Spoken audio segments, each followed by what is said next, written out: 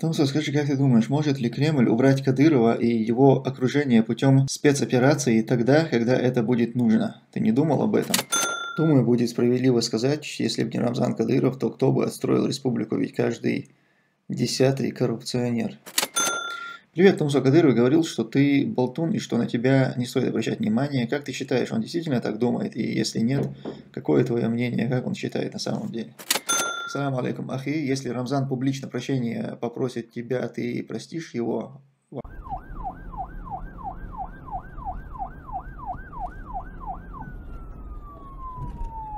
Добрый вечер, Томсо. Расскажи, пожалуйста, как там живется в Швеции, уровень жизни, цены и так далее. Что сейчас с модной болезнью принуждают ли к уколам? А ты сам прививался? Добрый вечер. В Швеции живется хорошо. Уровень жизни здесь высокий, выше, чем в тех же странах Центральной или Западной Европы.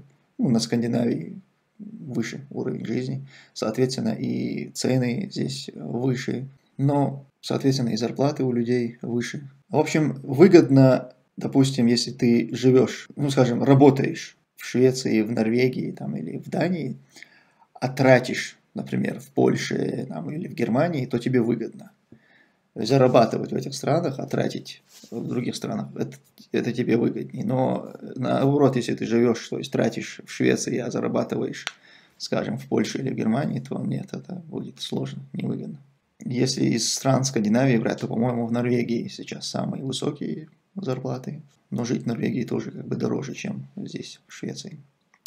Что сейчас модной болезнью? С модной болезнью, да вроде ничего, здесь не было никогда каких-то жестких мер а, борьбы с этой болезнью, каких-то локдаунов, там, масочных режимов, здесь никогда этого не было и нет. Поэтому все очень просто. Никакого принуждения к прививанию здесь нет. Прививки, они добровольные. Хочешь – делаешь, не хочешь – не делаешь. Никаких ограничений, связанных с тем, что ты не привит, тоже нет. То есть ты, будучи непривитым, свободно посещаешь любые общественные места, будь то рестораны, магазины и прочее. Просто в других странах Европы с этим есть проблемы. Например, в Бельгии не пускают в рестораны, если ты не привит. Или тест тебе нужно иметь, что ты не болен. В общем, в этом плане Швеция очень комфортная страна. А что касается, прививался ли я сам, я бы не хотел эту тему комментировать. Почему мы выбрали для политубежища именно Швецию? Ну, так получилось. Я на самом деле... Э, ну, не было такого, что я вот сел, там, открыл карту и стал выбирать себе страну. У меня не было такой возможности. Приходилось действовать из э, тех возможностей, которые у меня были. А возможности они были очень такие скудные. Когда я с Грузии, например, вылетал в Польшу, ну там выбор был вообще невелик. Польша, Латвия, по-моему, или Литва, какая-то прибалтийская страна. Из них я выбрал Польшу. Потом уже из Польши, когда дальше двигался, Швеция, она тоже... Короче, так получилось. Выбор был на самом деле не, не сильно велик. Но, как оказалось, выбор был сделан очень правильно. Ну, Аллах так устроил, что при, привел меня в Швецию, которая действительно оказалась в моей ситуации именно той страной, которая мне нужна. В том случае, чеченцы, живущие в Европе, работают на благо той страны, в которую уехали. И чем вообще занимаются? Конечно, работают, платят налоги. Каждый в своей стране, здесь многие чеченцы являются уже гражданами этих стран, работают, платят налоги, как-то созидают. Конечно. Тимати. Рамзан, открывай ворота, к тебе приехала колбаса. Лабан, Ламанборс. Зная сегодняшнюю Чечню, при возможности жить здесь, ты бы вернулся сюда жить, зная весь идиотизм и концлагерную систему. А, смотрите, вернулся ли бы я сейчас вот в сегодняшнюю Чечню? Нет, не вернулся бы. Но уехал бы я, уехал ли бы я из Чечни сегодняшней, имея возможность жить там? Нет, не уехал бы. Конечно, я бы жил бы, продолжал жить у себя э, в республике до тех пор, пока у меня сохранялась бы вот эта возможность там жить. И, в принципе, я так и делал. А до 2015 года я жил в республике, хотя последние пять лет были очень сложными для меня, но я не уезжал, не покидал свою а, страну, свою землю, свою родину. И так должны поступать все. Очень важно, чтобы чеченцы жили на своей земле. Если мы все оттуда уедем, то кто будет менять положение в нашей республике. Основная наша сила – это наш народ. И изменить это, изменять положение свое мы должны сами. И, и делать это должен наш народ. Это не сделает Тумсо, Хасан там, или кто-то другой. Ну да, мы тоже будем частью этой системы, но основной, основной силой будет и должен быть сам народ. И, а народ, он должен как бы, находиться на своей земле, жить. Поэтому пока есть возможность жить, нужно жить. Но когда у тебя уже все возможности нет, то есть у тебя вот ты лично, ты столкнулся с проблемой, нужно уезжать. И вот уже после того, как ты уехал, возвращаться обратно в эту же страну, конечно, нет, нельзя. Так, все, давайте зачитываем, наверное, последний вопрос и наверное, будем завершать. Почему в Европе закрывают глаза на то, что творится в Чечне, а, высылают беженцев, которым угрожает опасность, какие еще факты должны их убедить?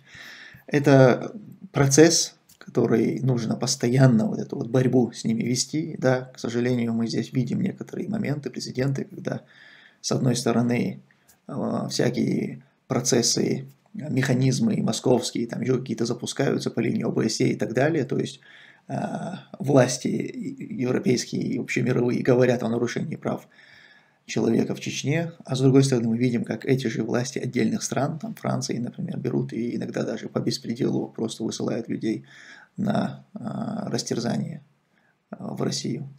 Поэтому, да, это двойные стандарты, это, это те моменты, с которыми постоянно нужно бороться, и не будет, наверное, так, что в какой-то момент скажут, все, теперь чеченцы, расслабьтесь, ну и не только чеченцы, вообще в целом выходцы из, э, из Кавказа, там, из России. Все, расслабьтесь, вам больше не грозит э, депортация в Россию. Наверное, такого никогда не будет, и нам постоянно нужно будет вести вот эту борьбу в рамках правового, правового поля европейского.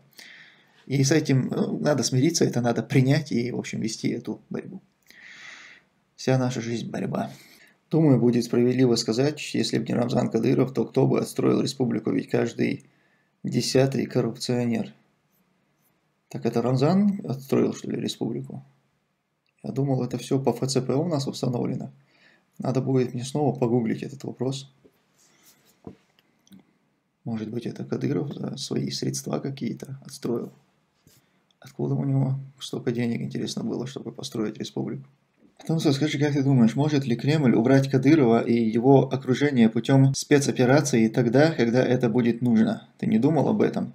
Когда это будет нужно, убрать Кадырова для Кремля э, проблем не составит. Если вот э, как сейчас будет сохраняться, имеется в виду положение, то вот в нынешнем положении, например, завтра нужно снять Кадырова. Проблема это для Кремля нет, вообще не проблема. Они, они его отца как бы отправили на тот свет, они его в легкую оттуда. Если надо, на тот свет отправят э, почетно при этом. Если надо, загрузят в вертолет, отвезут в Лефортово, Сегодня это не проблема. Что будет завтра, я не знаю. То есть завтра положение в целом в России может измениться. Власть может э, ослабнуть. Там, не знаю. Что будет завтра, в общем, мы не знаем. Сегодня это не проблема. Это факт. Ипон, Кадыров, Аллахи, ты своими мерзкими действиями только породишь критиков типа Анзора Венского, которые будут хуже в своих высказываниях. Привет, Тумсо Кадыров говорил, что ты болтун и что на тебя не стоит обращать внимание. Как ты считаешь, он действительно так думает? И если нет, какое твое мнение, как он считает на самом деле?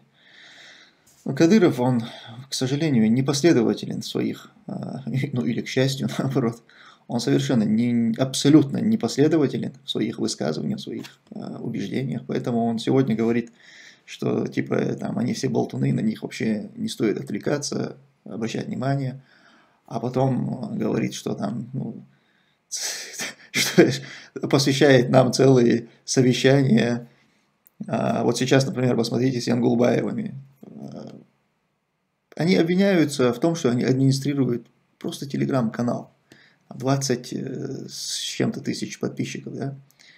Для масштабов как бы республики, для масштабов страны, но это не, не, не настолько серьезный вопрос, если судить по высказываниям Кадырова. Но нет, он сейчас целенаправленно, вообще вся, вся республика занимается вот э, этой семьей, делаются заявления на, э, на всех уровнях, отправляются э, полицейские фабрикуется какое-то уголовное дело, столько ресурсов тратится на то, чтобы бороться вот с теми, на кого не стоит обращать внимание.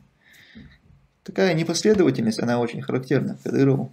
Это говорит о том, что у него, вот ты спросил, он действительно так думает. Это говорит о том, что у него, он, в принципе, не в состоянии думать. У него нет каких-то убеждений. Он, может быть, на тот момент, когда он говорит эти мысли, вот, вот сейчас они у него в голове такие, но, но это не его убеждение, это, это не то, что он как бы обдумал и пришел к мнению, что вот нужно придерживаться такой тактики и стратегии в отношении этих людей, там, не обращать внимания. Это не так. Просто вот сейчас, в данный момент, он разговаривал, ему пришло это в голову, он это высказал, но завтра уже все, эта мысль потеряна, ему, у него совершенно другое мнение по этому поводу. Ты можешь убить нас, но это тебе не поможет. Хоси Юртуркотом. Салам алейкум, ахи. Если Рамзан публично прощения попросит тебя, ты простишь его? Ва алейкум ассалям. Бог простит. سأمحو رجس الصيون انتظريني